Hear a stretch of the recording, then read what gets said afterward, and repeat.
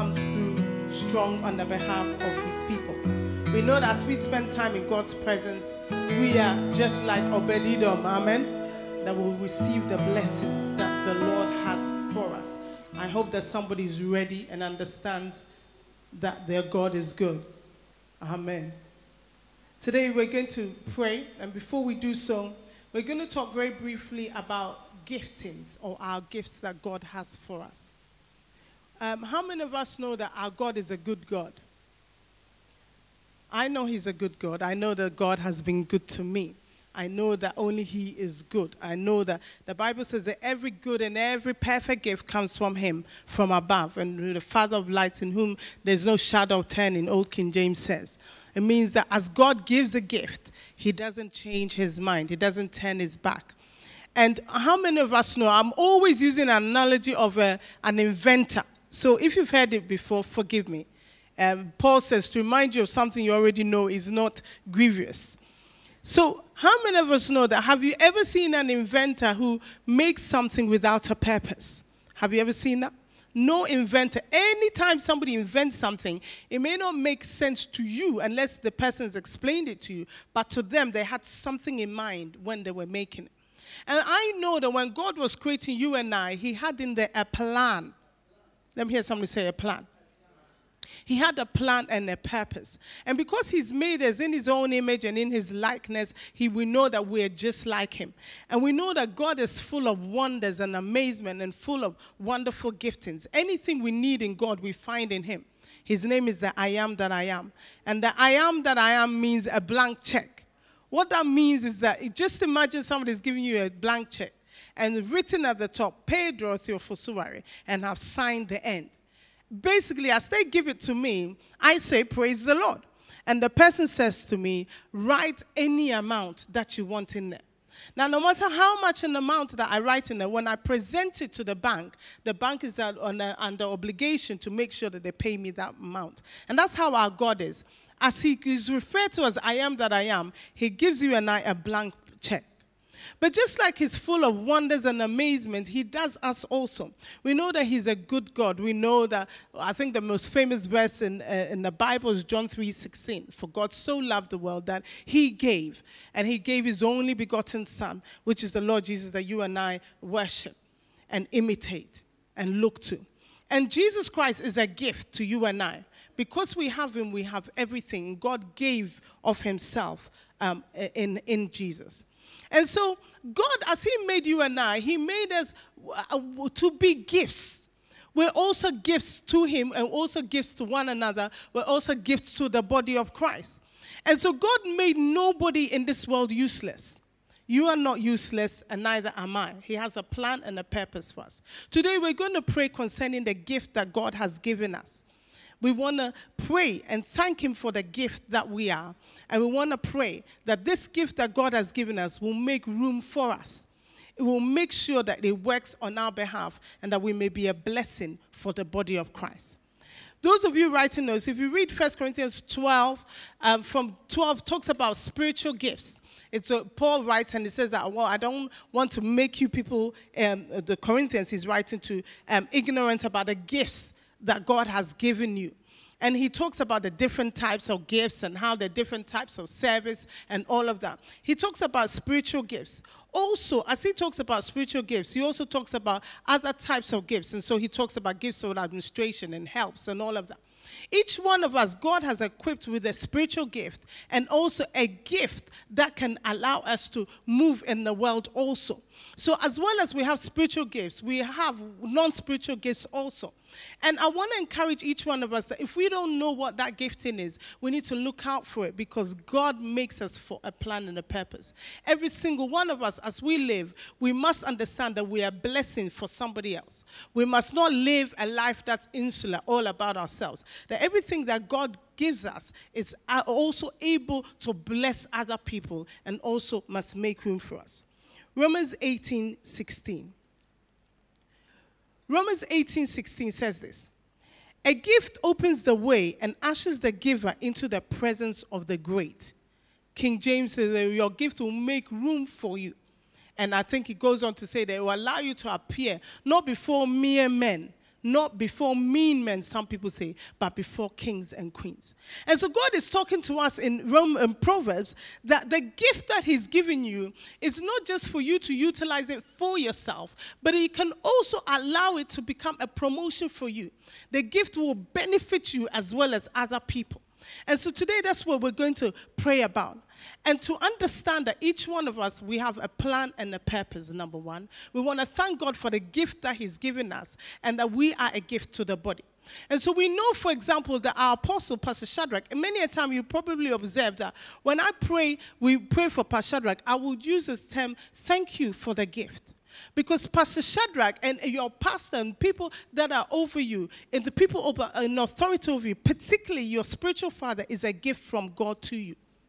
He's a gift from God. Because anytime God wants to bless you, He's going to use that gift to bless you. Let me hear somebody say amen. And so, Pastor Shadrach is a gift. In there, God has embodied all the fivefold ministry, everything that you need to grow as a child of God, and He's placed it in this man. So He's a gift. And so, not only the Pastor Shadrach can be a gift for you, but the gift that God, or the giftings that God has placed in him, and can also benefit him. And Proverbs 18 says, He opens the way and ushers the giver into the presence of the great. When you carry a gift and you are a gift, number one, you must understand that you are a gift. You must also understand that because you're a gift, you must also give. And so, whatever blessing that God has placed in you, whether it's a spiritual gift to prophesy, the Bible says, for example, that prophecy is for the edification of the church.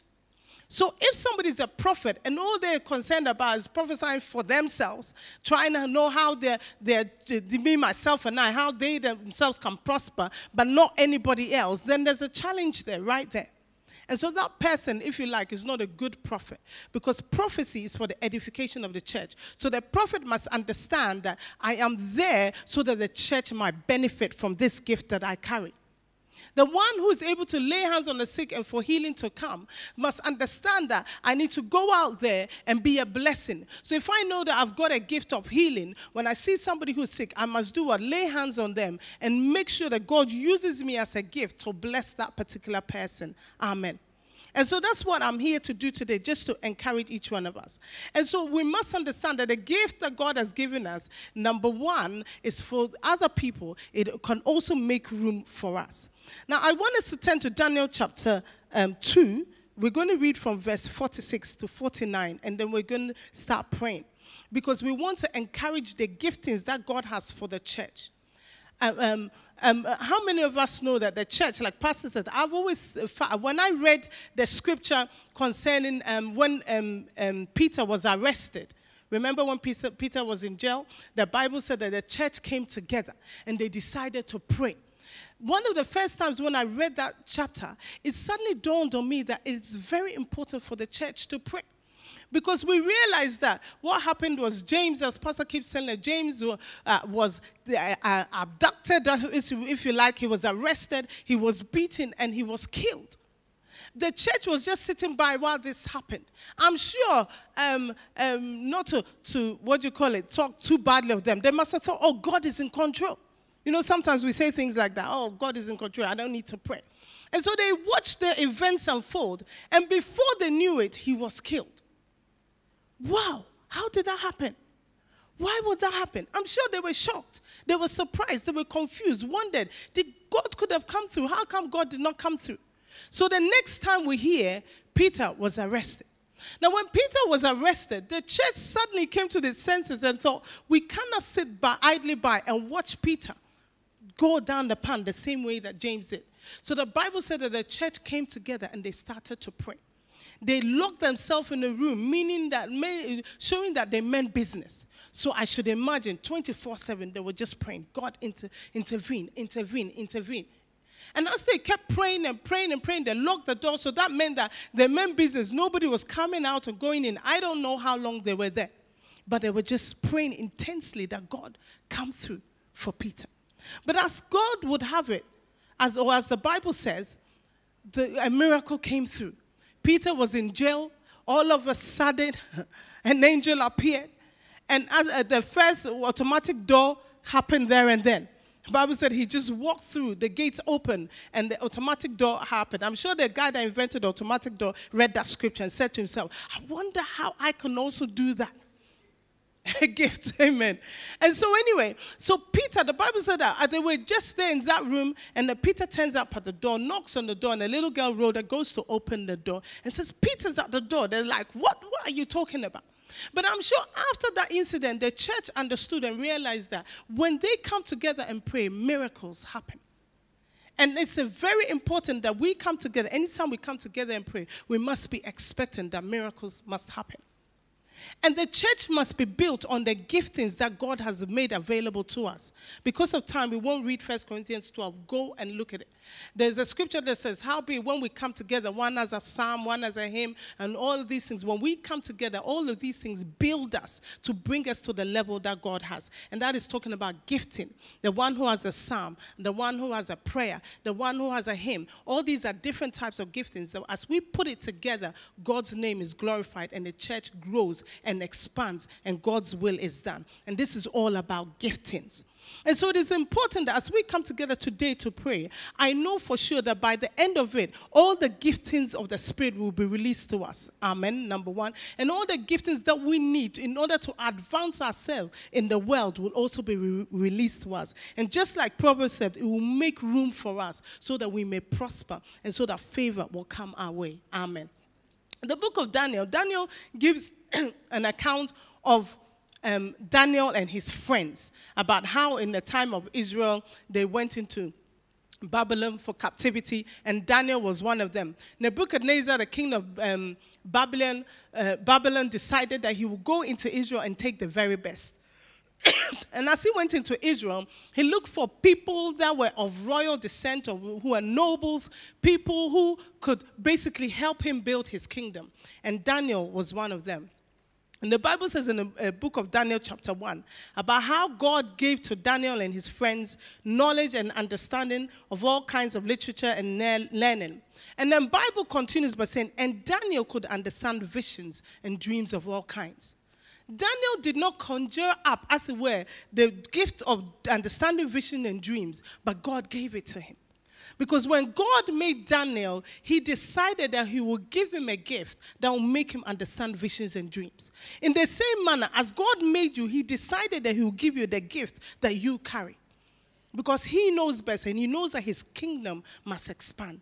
So, whatever it is that you know you have, what you don't know you have, understand that God has given it to you. Even if you don't understand that you have a gift, know that He's given it to you. So today, if you don't know that you have a gift, you're going to pray so that it will come to your knowledge what gifting you have. Excuse me.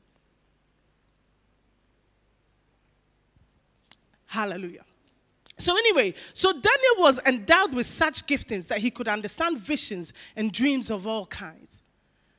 Today, in the same manner, like I've already said, God has given that to you.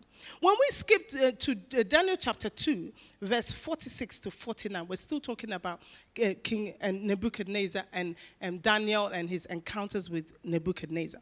The Bible tells us that one day Nebuchadnezzar went and he slept and he had a dream. But when he had this dream, he got up and decided that he will call all the wise men of the land, all of these people that could interpret dreams and the, the, what the, the diviners and all of those people that could understand spiritual things. But as he called them, I know it doesn't make any sense, but God was orchestrating and bringing something to pass so that Daniel could be promoted. And our God is a God who always orchestrates so that promotion will come your way.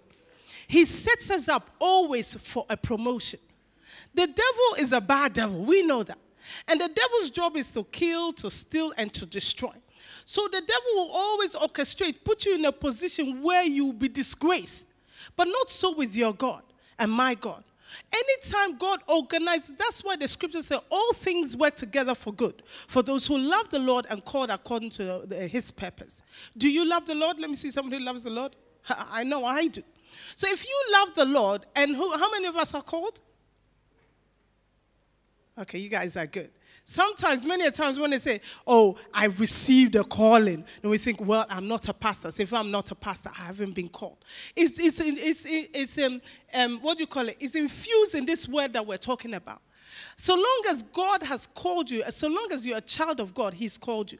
So long as you're a child of God, you are blessed. So long as you're a child of God, you have a gift because He didn't make you useless. Amen. So long as you're a child of God, you are his ambassador. You're a channel of his love and his peace. So he wants to use you and he will use you. As we spend time in God's presence this year, by the end of this year, each one of us, God would have used mightily to his glory.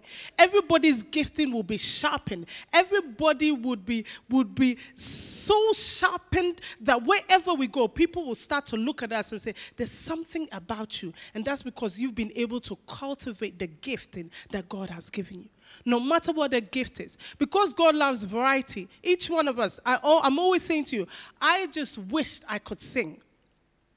I always wish I could sing. From when I was a child, I wished I could sing. But unfortunately, I don't sing. But just because I don't sing doesn't mean that God doesn't use me. I think maybe it would be better if I could sing. But God has made somebody else to sing, and He's made somebody else to speak.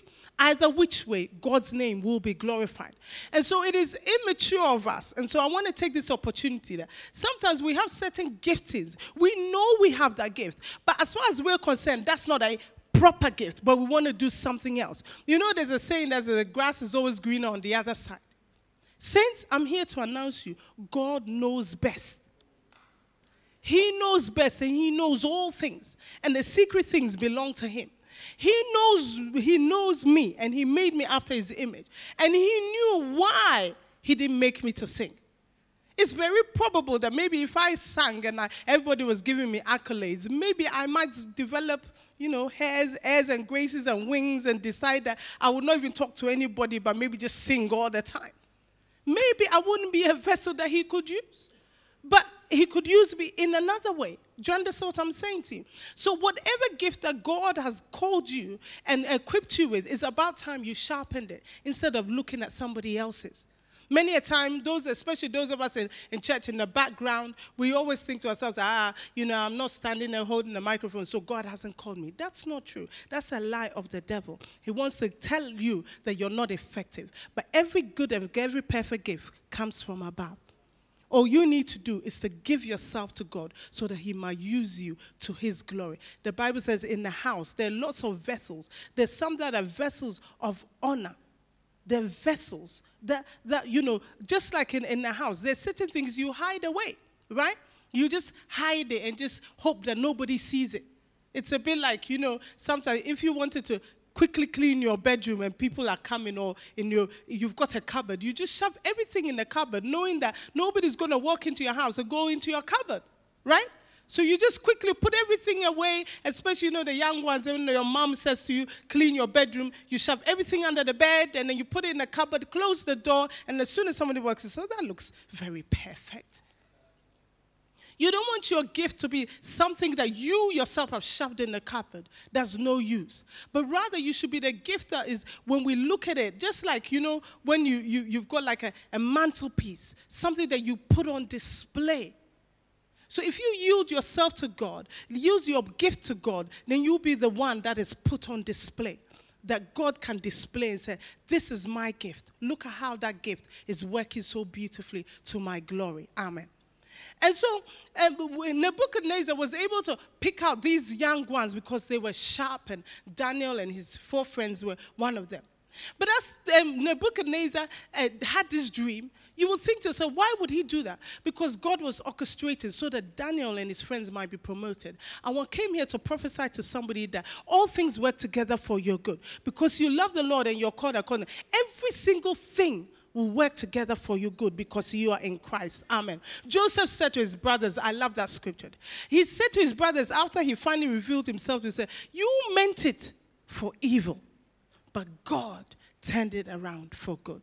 And he was projecting himself there and then. Joseph was prophesying into that scripture in Romans 8 that all things work together for good for those who love the Lord and called according to his purpose no matter what happens, God will always orchestrate so that a promotion will come your way. So, no matter what you're going through right now, the situation you're going through, it may look bad, it may look dim, it may look dark, but be rest assured, He's only setting you up for a promotion. Amen. So, Nebuchadnezzar makes an edict and decrees that look, somebody should come. Not only do I want you, I don't want you to interpret the dream, but I want you to tell me the dream and then interpret it. A double whammy. Trouble don't come on. So these guys were trying, they were biding time. Even in Nebuchadnezzar said, I can see what you people are doing. You're trying to distract me. But uh, after that, nobody could do it. So the edict went out that now let's kill all these wise men. Now, if you remember, the Bible said that God had given Daniel an ability to interpret visions and dreams. And so Daniel was, was, if you like, engrafted into those people who are going to be killed because he could understand visions and dreams. And so Daniel would have been one of those people. And so eventually, when he got to hear about it, he asked, Why would the king want to kill uh, people like that? And the guy explains to him. So Daniel goes to the king and he says, King, just give me some time. Let me go and wait on the Lord. Somebody needs to go to their boss and say to their boss, Give me some time. Let me go and wait on the Lord. Sometimes a situation in your workplace may be there so that God might promote you. Amen. You will due a promotion as you spend time in God's presence. So when things are going pear-shaped in your workplace, don't just sit on the fence. Inquire, what's going on? Is there something I can do to help? Go. It says, give me, give me a few days, I'll get back to you.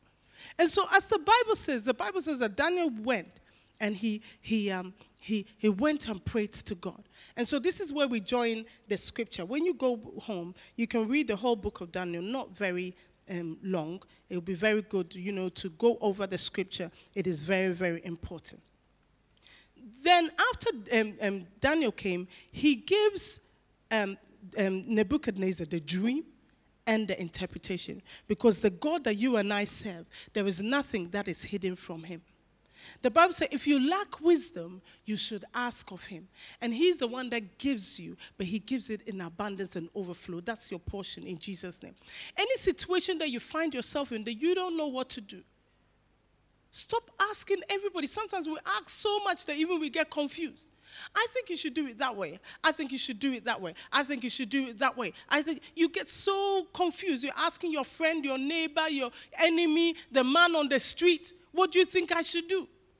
I mean, why do you put yourself in that situation where you've got the King of Kings, the Lord strong and mighty, the one who is wisdom himself? Amen. Ask God and then you can seek counsel. Of course, you can. You have your pastor. Go ask your pastor. But don't confuse yourself, wasting your time as it were, asking other people's opinions. What do you think I should do? Oh, I think you should go and do the. Oh, okay, come and ask me. I think you should do B. Uh, should I go or should I come?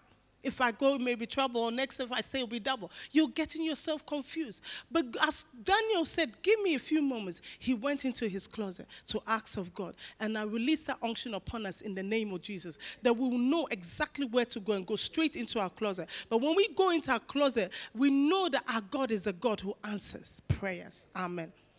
God invites us. As we spend time in His presence, it's an invitation to spend time with Him. Soon as He's giving you that invitation, you know He's ready to answer. And what does He say in His Word? You know, uh, Pastor's teaching us uh, here at Welling about the Lord's Prayer. When he preached on Sunday, when he finished the, the summation of it all was do what? Just ask. The way to Him is open. Just ask. The Lord's Prayer is about asking. As we commune with Him, we just keep asking. Let's ask. Ask and keep on asking. The, he who asks, the Lord, eh, the answer will be given.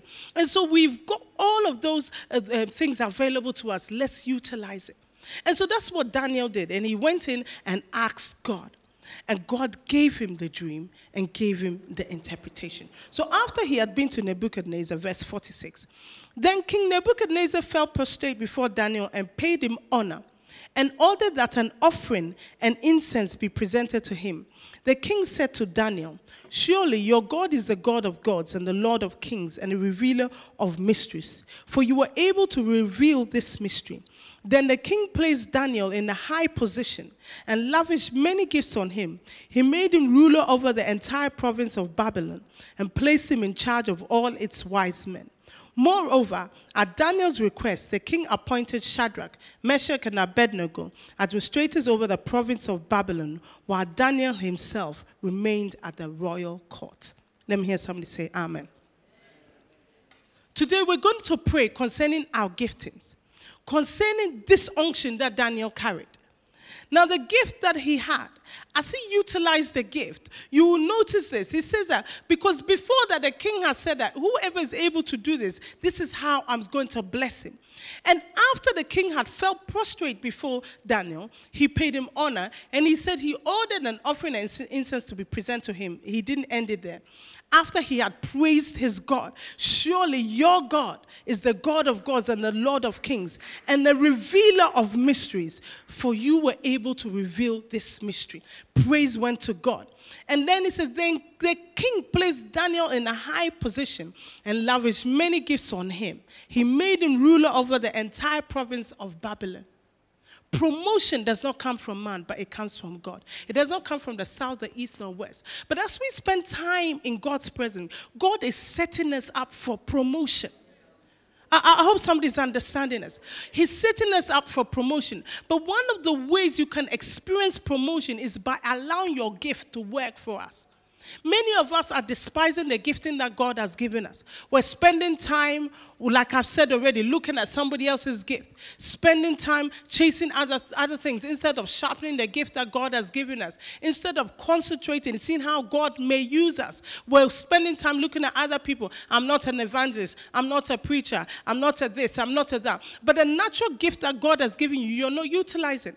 It's very possible that maybe you're very friendly, you talk a lot. How about going about talking to people about the Lord Jesus Christ? How about encouraging people? The Bible says concerning uh, is it Barnabas, his name was not even that. They said he they gave him the name son of encouragement because all he did was he encouraged people. They changed his name. The disciples just called him encouragement.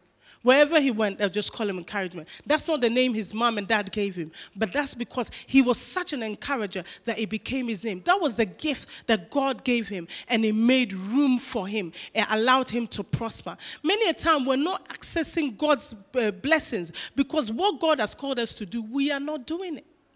Sometimes we, we kind of, God has called it, all I want you to do is to encourage somebody, but you're not doing it. And so the blessing and the reward that is connected to that gift of encouragement, you're not accessing it.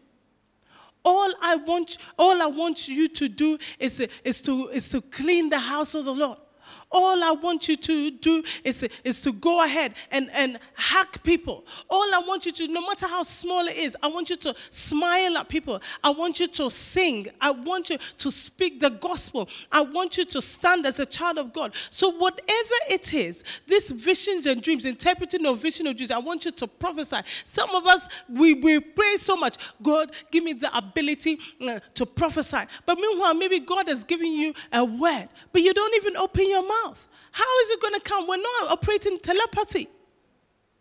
The person is not going to know. Come to your pastor and say, God, this is what I, I, have received, or this is the word of God. Come and have a conversation. Of course, you don't just get up and talk anyhow. You need to be guided. Go and look for the one that will guide you. You're in the house of the Lord. That's why you have pastors. That's why you have apostles. You have teachers, people who will guide you in the gifting.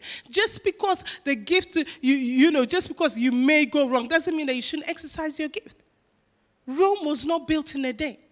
Any great person that you see out there that you admire, any gifting that you have that you admire, you look to, if you go and speak to that person, they will tell you, I was not born like that. They took their time to sharpen that particular gift. But so today we're going to pray that just like Daniel's gift, because of the gift that God gave him, he did not allow it to go dormant. He could have said to himself, Well, I'm an Israelite, and now I'm in Babylon. And not only am I in Babylon, I'm in captivity. Not only am I in captivity, but I'm in captivity to a king who's the most wicked king, a human being who ever lived. But you notice that Daniel was able to still exercise his gift regardless of the environment in which he was in. Now, you are now, you may be in a hostile environment, or you may not be. Most of the time, we are blessed that we're in this country. In this country, you can preach the gospel freely. There are many people who are dying, who are being persecuted, who are being losing their lives literally because of the gospel, but we are free to prosper as it were. And so the gift that God has given us, we must use it to build the church, Freedom Centre International, whatever it is, no matter how small it is, no matter how minute we think it is, because God, who knows all things, the giver of life, the sustainer of life, has given that gift to you. Amen. Who knows all things, and every good and every perfect gift comes from God. And so the gifting that we have today, the spiritual and the non-spiritual, which will be the natural tendencies that we have, we must use it to God's glory. If we know computing, let's come to the house of the Lord. Let's design flyers. Let's do computer. Let's make sure that the house of the Lord is built with the gift that we have. Amen. So, whatever it is that we have. And so, when Daniel did not sit on his gift, the time came that even though he was faced with death, he still didn't say, Ah, God, look at what you've done to me. I didn't ask to be a prophet. Oh. Now look, I have to go and prophesy. Now it's come to my detriment. Sometimes it's very possible that in using that gift, maybe somebody may misinterpret. Somebody might say, you know, this and that. And then you say to yourself, well, I was only trying to be nice that I usually do. I was only trying to give. But when I gave to that person, rather they turned their back on me and how I insulted me. Giving is a gift. You know that. Giving is a gift. So some people, our ability to give is a gift from God. He just makes us, He gives you that gift so that you can be a blessing to the body. So all you do is give. You give, you give, you give, you give. And that's a gift that Tabitha had. All she was doing was giving, making sure that the women in the house were looked after. That's a gift. Now, if Tabitha had said to herself, Oh, I tell you what, I've given to one, two, three, do you suppose, I, I know I wasn't there, but do you suppose all those women were grateful? I don't suppose so. I'm sure some of them took the giftings and went and sold it. I'm sure some of them took it and insulted it. Ah, who does she think she is? I'm sure even when she died, they must have thought, ah, yeah, she's the only one. But this same gift made sure that she did not stay dead, but she resurrected. Only a few people were resurrected in, in the Bible, and she was one of them because of her gift that made room for her to prosper. And so it is very important that we do not neglect the giftings that God has given us, but rather we should sharpen it. We should pray that God, give me the ability. When the opportunity comes, let me exercise it. Even though sometimes it may be to our disadvantage. Sometimes, like I've already said, Daniel, it would look like when he heard that his heart must have gone boom. Hey, I didn't ask to be a prophet. I didn't ask for me to see things and understand visions. So just because I understand visions and dreams, now I found myself in this predicament. But yet still, he still turned his face to God and said, God, give me the interpretation. Amen. Regardless of how people respond, it is very important that we train ourselves to understand that everything that we do, we do to the glory of God. So whether we get um, encouragement or not, we must still do what God has called us to do. So that that gift will make room for us, just like Proverbs said. It will bring us before kings and queens. It will make sure that our mouths are satisfied with good things. Amen. It will make sure that doors will open for us. It will make sure that because of just what we were doing, we'll end up in a place where God has positioned for us. Because that gift will be the one that will set us up for a promotion. You know that the Bible says that and Philip was preaching somewhere else. But that gift of evangelist, that gift of speaking the word, was able to make room for him when in Ethiopia and all that area. So I'm praying, we're praying today that every gift that God has given us, we're not going to allow it to lie dormant. Today we're going to revitalize the giftings. Amen. We're going to fan it into flame. The Bible says, I think Paul writing to Timothy, he says, fan into flame the prophetic word that was given you when hands were laid on you by, uh, by the presbytery, as the words were spoken of your life, don't let it die out. Whatever gift that we have, let's not let it die out. But today, by prayer, we're going to fan it into flames so that this church will prosper because we are a movement and a movement we must. So, every single body, whatever gifting we have, we must all bring it to the table and we must utilize it. If everybody is doing what God has called them to do, we'll fit in tightly together and the body will expand. When you go home, read 1 Corinthians 12 because that's what he's talking about. He says, if the hand says that I am no longer part of the body, what's going to happen to the body? If the eye says, oh, I'm not. So that's what Paul is saying that every single one of us is important. So as we sing in, in, in Sunday school, this little light of mine, I'm going to let it shine. So we must resolve to ourselves today that whatever light that we have, whatever light that we carry, we should ensure that it shines in whichever corner that we find ourselves. You want to rise with me as we begin to pray into this word.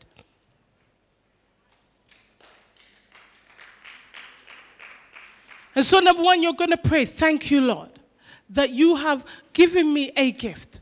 If you're not sure, whatever your gift is, you as we're praying, you want, let's pray it through. After service, you can come, let's have a chat where we can talk about it. But whatever it is that you find yourself to do, be faithful doing it. You want to make sure that you don't discourage yourself. Don't allow other people to discourage you either. But whatever you find yourself doing in the house of the Lord, be faithful. Be faithful doing it. Whatever you find yourself doing outside, here, let's carry that same gifting out there so that it will make room for us, so that we will prosper in all that we do. Whatever you put your hand to do will prosper prosper. Whatever you put your hand to do will prosper in Jesus' name. And whatever you declare will come to pass. But God is looking for those of us who will serve Him faithfully. Faithfully. The Bible says if you put your hand into the plow and withdraw it, you're not fit for the kingdom. But those of us that diligently seek Him, the Lord will reward. You want to lift up your voice in thanksgiving, number one, for the gift that you have. Number two, you want to pray that God continue to use me in that particular area of that gifting. If you're operating below par, say, Lord, help me, give me the strength to come above. Then, number three, you're going to pray, the Lord, let me be in the right place at the right time because I know, God, you are orchestrating events so that I will be promoted. Let me be like Daniel. So that honor, the wealth, Daniel, who was, if you like, just a, a, an ordinary boy serving, he became a prince, if you like, he became a governor of the whole of Babylon. Not only was he, he didn't go by himself, he also said to Nebuchadnezzar, can you please promote my, my friends? And promotion, he did not just come to him, but he also extended to those that. So let that be your portion. As you get promoted, not just for you, but for your family, for your friends, for your church, let your promotion, Paul said, reign that we may reign with you. So, whatever way that you are reigning, you reign with your church, you reign with your family, you reign with your friends, and all those who are connected to you. Let the blessings begin to extend and go to your descendants so that the blessing that you receive receive will not remain with you, but to your children's children. I want somebody to lift up your voice as we pray.